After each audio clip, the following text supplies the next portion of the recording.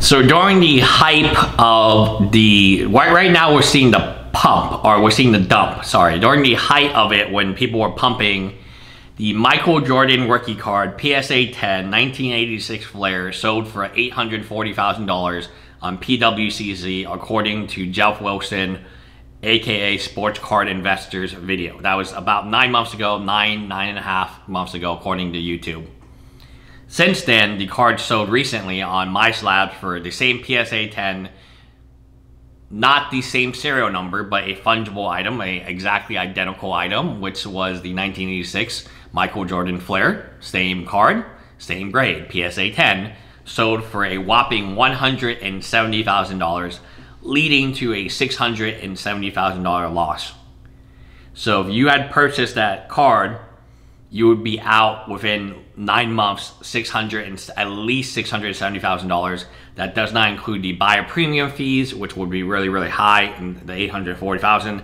And that doesn't include any selling fees that you pay for MySlabs. The market is clearly down. People are clearly angry.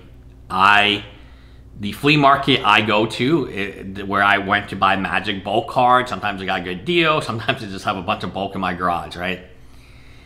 That place got shot up yesterday. Uh, I live in Houston. The flea market is, I think, 10 miles or 10, some, it's not very far away from downtown Houston. It's really easy to get to. It is a huge flea market. At the time of the shooting, there was a thousand people there there it, it's fun you know i like going to these events with my employees because there's not there's no way that you can go bankrupt at a flea market pretty much and you know you go video game hunting go for magic card obviously the pre-covid-19 i went there for magic cards it was just fun seeing the inventory uh, there's a dealer down there that has just uh, tables and tables of just bulk and sometimes you can get a good deal sometimes you know it's just bulk that place got shot up. Um, people died. People were injured. And I think people are very upset. The economy is very upsetting. Joe Biden, let's not, you know, pick on him too much in this video, but I do think he is not doing a good job of the economy. I don't think he's done a good job of inflation. You know, just keep printing money and say, hey, student loan forgiveness, debt. I mean, I agree with like some student loans. I don't have any student loans. I paid off all my student loans. NYU. Well, I mean, I paid half a million dollars in student loans in one check. That's how much money I make. I just paid it off all one check.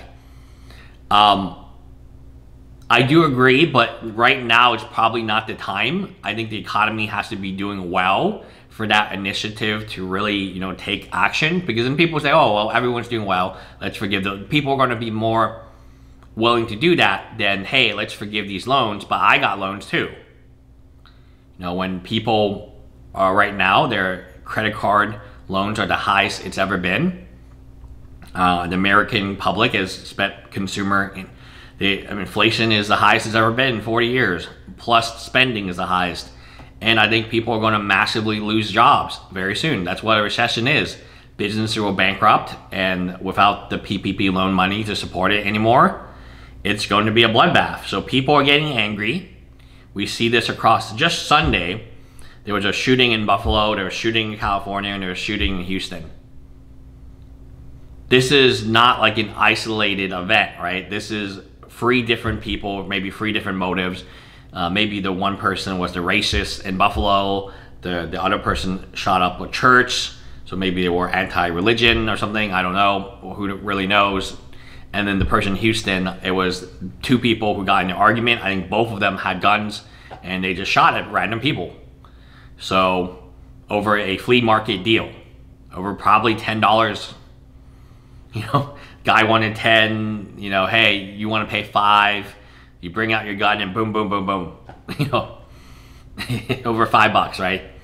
Um, it's very scary. It's very dangerous. Um, I really, there's a lot of fake cards. There's a lot of anger. There's a, there's a lot of anger in this hobby. There's a lot of negativity in the hobby, and rightfully so. A lot of people, it's not just the people who bought Luka base or, God forbid, you know, they bought James Harden's rookie card. You used to see James Harden's rookie card in like every single content creator's video. Now you don't see his card anymore. I wonder why. And you know, in fact, I think some sports card investor, didn't he trade for like a very valuable James Harden card? Yeah, no one wants him. He's trash. I live in Houston. He's lazy. He doesn't go to events on time. I know because there was an event that my um, client sponsored, and he didn't even show up until the event was halfway over. And he was paid. It was a charity event too, and he was paid to attend to do a meet and greet. And, and I couldn't even like get an autograph from him because the event was over by the time like the meet and greet happened.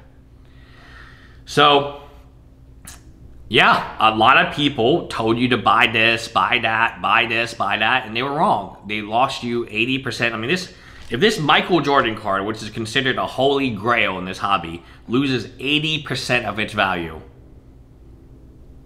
well, what did a Luka base do? And Luka is having a really, really good season too. So maybe the better example would be a, what did a Ben Simmons rookie card do? Or what did a Zion, right? Luka and Zion, the two big heavy hitters.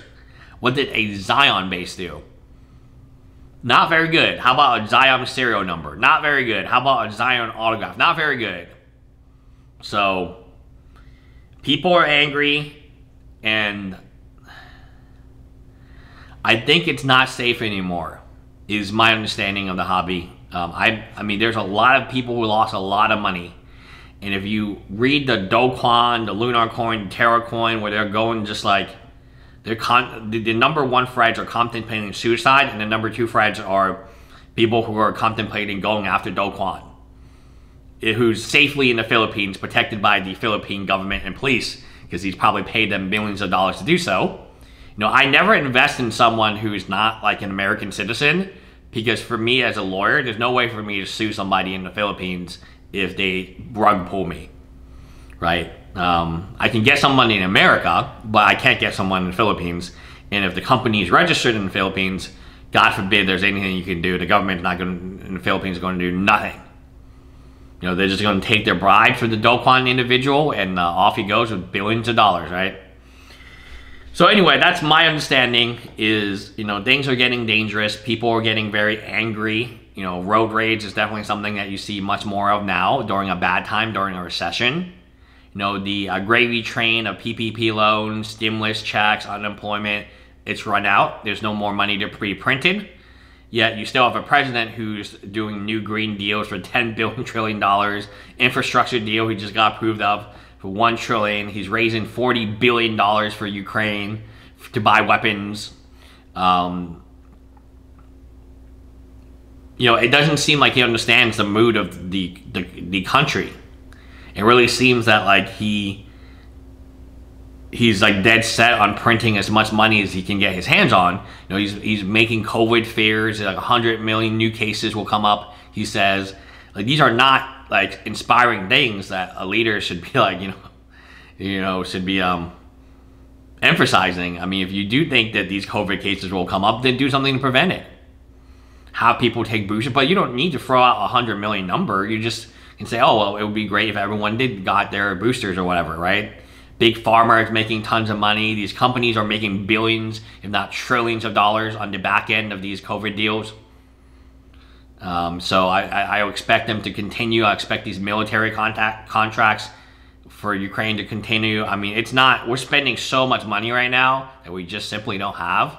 And eventually the uh, Piper will call the piper will uh, play its flute and uh, take all the children's futures away.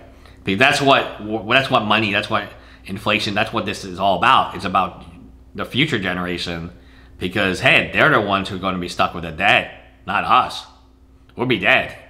I mean, Joe, Joe Biden, given his age, I'm sure he's not thinking about, huh, what is going to happen to me in the next 100 years? I'm pretty sure he's thinking about what's going to happen in the next midterm elections. So why not forgive all student loans? Why not forgive all medical debt? Why not just continue to print money? Because I won't, you know, he probably won't be reelected. So there's no point in not printing more money. Hi, guys.